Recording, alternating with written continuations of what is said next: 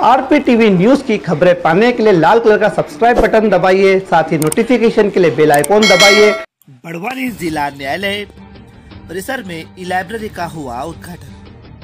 प्रदेश की दूसरी ई लाइब्रेरी का भव्य शुभारंभ जिला न्यायालय बड़वानी में जिला एवं सत्र न्यायाधीश अनंत कुमार तिवारी एवं मध्य प्रदेश स्टेट बार अध्यक्ष विवेक सिंह के आतिथ्य में सम्पन्न हुआ।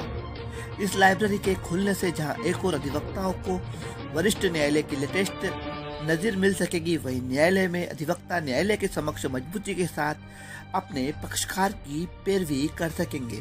कार्यक्रम को संबोधित करते हुए स्टेट बार काउंसिलिंग के अध्यक्ष एवं मुख्य अतिथि विवेक सिंह ने जिला बार अभिभाषक संघ के प्रयासों की सराहना करते हुए सभी को शुभकामनाएँ दी। नवाचार से जूनियर अधिवक्ता को होंगे फ़ायदे। धन्यवाद देना चाहता हूँ कि जो आज मुझे इसी लाइब्रेरी पे मुझे इनवाइट किया।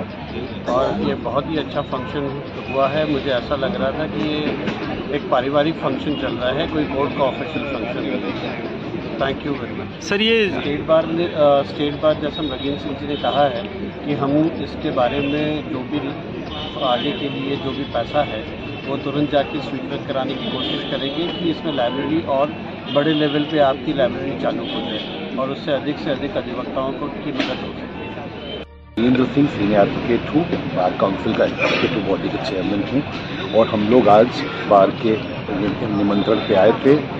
बड़वानी बार मैं पहली बार आया हूँ, बड़वानी में। बड़वानी पहली बार मैंने चरण रखा और मुझे बहुत अच्छा लगा। इतने इतने बहुत आत्मिक तरीके से लोग मिले। मुझे बहुत अच्छा लगा और एक सबसे बड़ी चीज़ ये जो पहल की गई है प्रदेश के सभी जिलों सभी तहसील लेवल के बार्स को इससे प्रेरणा लेके आगे करना चाहिए जो ई लाइब्रेरी का की स्थापना हुई।